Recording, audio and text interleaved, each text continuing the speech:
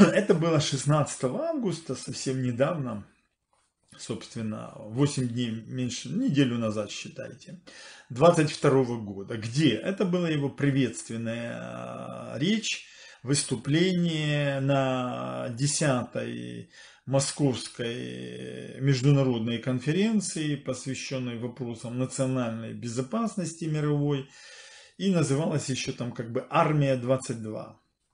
Кстати, там произошел у них полный провал по продаже э, своего вооружения. Там только на 900 миллионов они продали, а в прошлом году на 20 миллиардов. То есть это вообще там два контракта, кажется, было заключено. То есть это и то, видно, сами их и профинансировали каким-нибудь там этим самым африканским впарили что-то какое-нибудь, или Бирме оружие и так далее.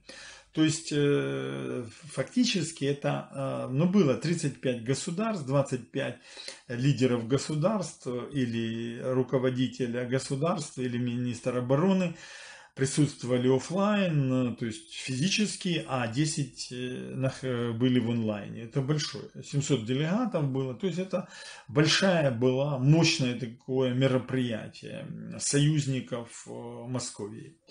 Ну вот давайте теперь подумаем, проанализируем, что он сказал. То есть, и отсюда попробуем э, тогда понять, что будет в Украине. Ну, как я представляю. Потому что это самое главное для пересечных миллионов украинцев. То есть, ну, вдумайтесь, да, то есть 15 миллионов бросили места своего проживания, многие из них просто его потеряли, все потеряли. То есть все, чтобы они жили в спокойной реальности, у них этого не стало. Ну, один Мариуполь. 500 тысяч где-то человек было. Представляете, вокруг Мариуполя, Лисичанск, э, этот самый, э, Северодонецк, Рубежная, Попасная, э, Кременная. Ну, это вообще, то есть это сотни тысяч, сотни тысяч людей. Все, у них ничего нету, они все бросили, они и бежали. Бежали, ну и понятно, что уже туда в ближайшее время нет смысла возвращаться, там нечего делать. Там просто ничего, это руины. Это абсолютные руины, там будут дети подземелья, там жить будут. Всегда люди даже в концлагерях выживают, в тюрьмах, в карцерах выживают. Он, смотрите, посадили на зону того же лидера России, был мощнейшая фигура, это тот же Навальный. Ну и все. Не, не отравили новичком, в, в трусы налили, так э, гноят теперь его на зоне Владимирской там области или где. Вот и все. Сейчас э, захватили бывшего, вдумайтесь, мэра Екатеринбурга, Ройзмана, если не ошибаюсь. Очень умный дядька такой, нормальный и все. Вот. Ну, ему говорили, что его захватят, что его арестуют. Вот сегодня обыски прошли, пять лет тюрьмы ему для начала, ну, а потом Овсянникову тоже как разлевели, все говорили, что она агентка, не агентка. Ну, ее тоже по полной программе сейчас будут э, уже паковать и так далее. То есть, не жалеют там никого. То есть, практически никто там выстоять не может. Поэтому а вот то, что сейчас заявлял Зеленский, что им надо не выдавать визы, пусть они там сидят, поднимают восстание, то, что сейчас Литва, Латвия, Эстония делает, не выдав Финляндия, не выдавать им ничего, тут надо очень серьезно еще подумать. Очень серьезно подумать, потому что это трагедия, это реальная трагедия. Сегодня Российская Федерация это концлагерь реальный страшный концлагерь. Поэтому, конечно, с одной стороны, э, выдавать э, как таковые развлекательные визы для того, чтобы они вот это вот э, со своими буквами Z там лазили и прочую гадость сделали, конечно, нельзя. Но надо тогда сделать другой механизм. Надо на начинать работать а, для а, того, чтобы оппоненты режима могли создать свое Э, национально-фронтовое движение. Корпус должен быть создан и политический, и финансовый, и экономический, и идеологический, и вооруженный, силовой. Вот о чем надо делать. Вот о чем сегодня надо говорить. А как вы хотите это сделать? Значит, он должен создаваться в странах, которые граничат с Российской Федерацией. Там надо создавать вот этот антипутинский, антикремлевский фронт. Как, или э, российский фронт освобождения, я не знаю, ну, или российская армия освобождения, РА, как было, и так далее. Вот, но что-то, э, то есть нельзя людей там оставлять в этой клаке, в этой тюрьме, в этой, в этой пропасти, потому что иначе не надо деньги давать, а как вы хотели? Надо ресурсы давать, надо, надо объединять тех олигархов, которые против Путина выступили сейчас. То есть надо формировать центр сопротивления. И этот центр сопротивления должен находиться в этих приграничных европейских странах. Потому что они будут следующие. На них будет нападение. И вот теперь я объясню почему. Смотрите. Итак, берем путинскую речь. А, что он сказал? Вот очень важно. Он сказал, что пришло время многополярного устройства мира что э, страны хотят избирать свой путь, что западная глобалистская мировая элита порождает хаос и не дает устранить свою гегемонию. Гегемонию. Новый такой, очень, когда-то его использовал всегда коммунистический Китай, гегемонисты. Сегодня это Путин взял эту дефиницию на вооружение. Дальше. США и их вассалы заставляют страны подчиниться, быть их доминионами, паразитируют на всех странах. То есть США, то есть, смотрите, первое, что надо сломать существующий монопорядок.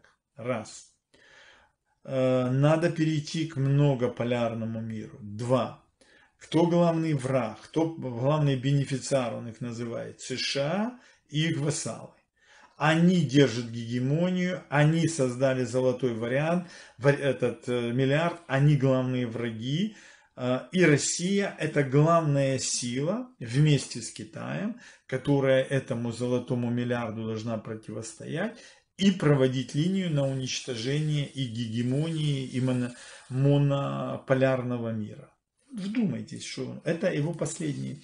Он говорит, кто главный э, враг всех стран – которые хотят идти типа своим путем демократии. Ну, это, да, Куба, Северная Корея, Венесуэла, Бирма, э, кто там еще, ну, коммунистический Китай э, и так далее, там Иран террористический, там этот самый Эритрея, Бурунди, там Центральноафриканская республика, Чад и прочие, прочие, прочие. Это все диктаторские, ну, Беларусь, само собой, э, Туркмения, например, Таджикистан, там, вот это все диктаторские государства. Вот это у Путина это демократические государства, которым Запад мешает идти своим путем. Вдумайтесь. То есть это в голове совершенно больная так сказать, э, ментальная установка и ментальное, э,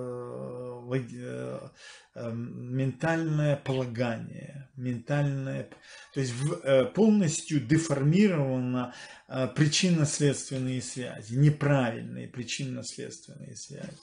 Дальше что он говорит? Смотрите, Э, что Россия, помните, я вам говорил, в декабре 2021 года предложила Западу коллективному из США прежде всего, как выстроить систему без вы помните, то есть фактически прихлопнуть, уничтожить Украину, чтобы Запад ее сдал. То есть мирным путем было предложено уничтожить Украину, передать ее под мандат Российской Федерации.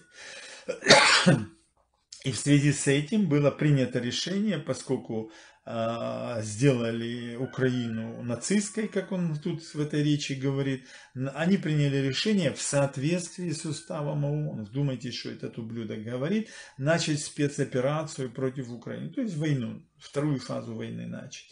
Кто виноват в этом, что там затянулся конфликт, то есть что они не уничтожили Украину, не захватили, как он планировал, за трое суток ее? Это США виноваты с их вассалами. Они затягивают конфликт. И они не только затягивают в Украине конфликт, но они так обнаглели, что они дестабилизируют Тихоокеанский регион и э, начали э, унич... Э, дестабилизировать коммунистический Китай с помощью Тайваня.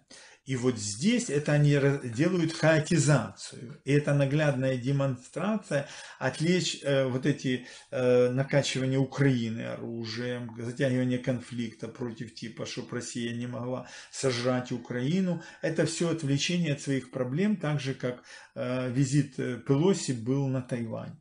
И вот тогда он говорит, что Россия и Китай должны объединиться как лидеры против этих глобалистов этого и э, добиваться многополярного мира, вот, э, уничтожая монополярный мир, который обречен и который несет хаос.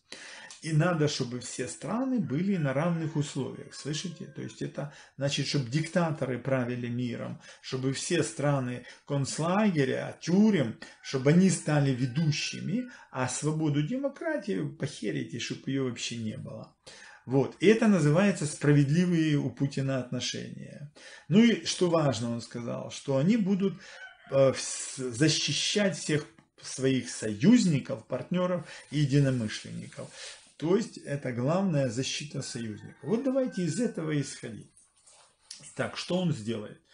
То есть Путину уже не интересна Украина уже он понял, что его окружение, там Патруш, ну все, которые вы знаете, там не буду называть, там есть же теневое ядро, Ковальчук там и прочее, они четко определились, что находясь в Украине, у них сжатые, они, как это, їх затисли в лищата взяли, що вони не можуть рухати, що вони, ну, вибачте, вони вже втратили тільки вже як фрагментовано мінімум 50 тисяч осіб.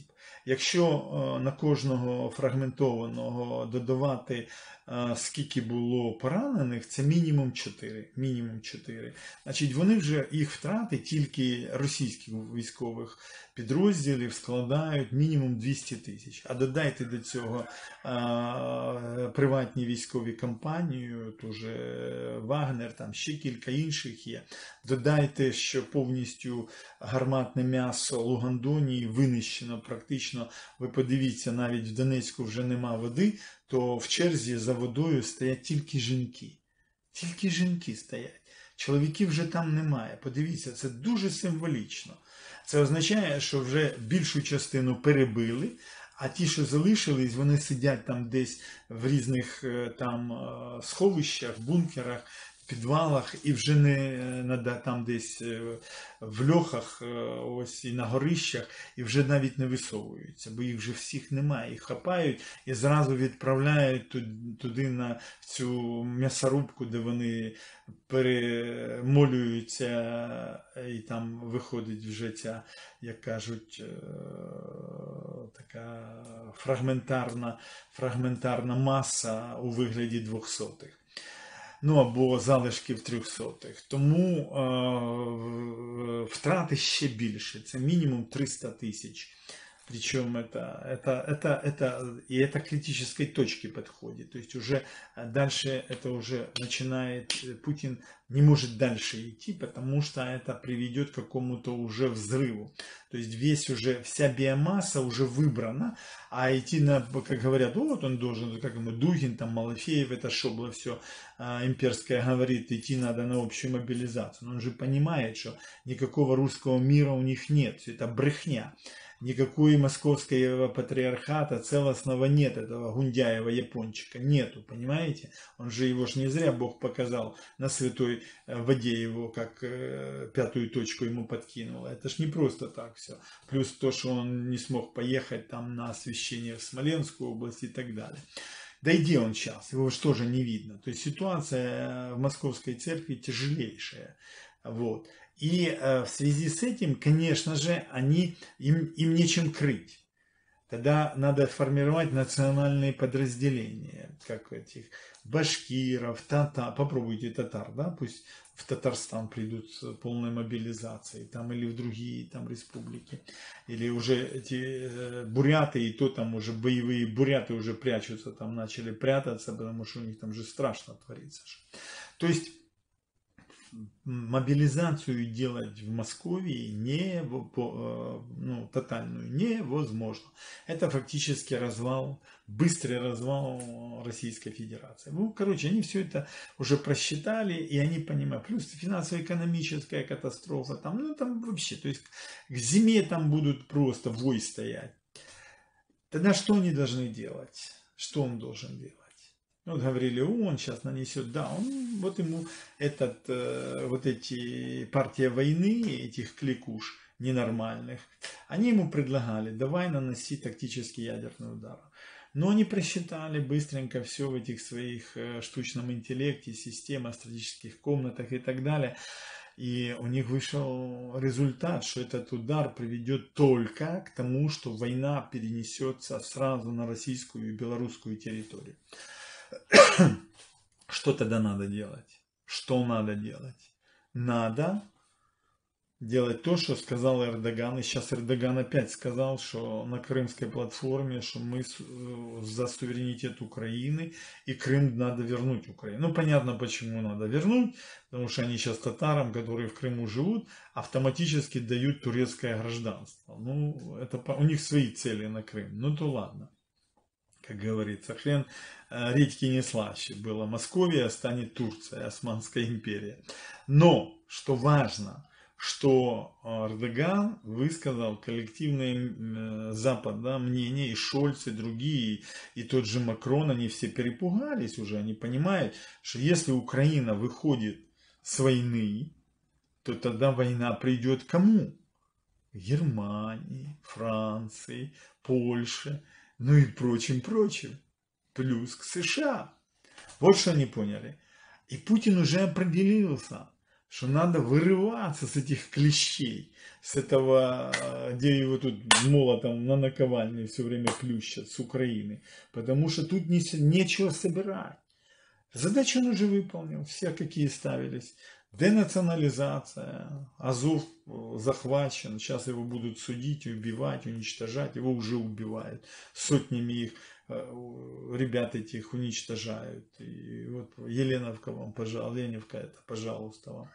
А демилитаризация, да, украинского оружия аж нет, все западное. Если забрать западное оружие, то украинская армия будет безоружна. А разрушил народно-хозяйственный комплекс, умиротворил, да, умиротворил, где-то наполовину. Страна в состоянии дефолта, да, страна в состоянии дефолта. Страна может самообеспечивать себя? Нет, не может пока обеспечивать себя.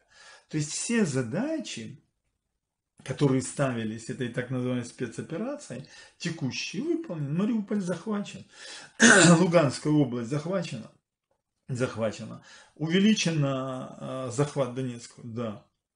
Что теперь надо делать? Поскольку удержать все невозможно, главный враг это вот Запад, то надо развязать себе руки.